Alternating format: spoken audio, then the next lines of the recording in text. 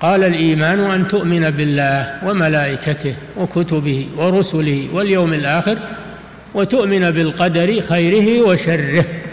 قالوا هذه أركان الإيمان. الإيمان له أركان وله شعب. أركانه ستة.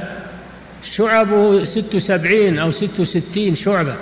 أعلاها قول لا إله إلا الله وأدناها إماطة الأذى عن الطريق. والحياء شعبة. من الإيمان.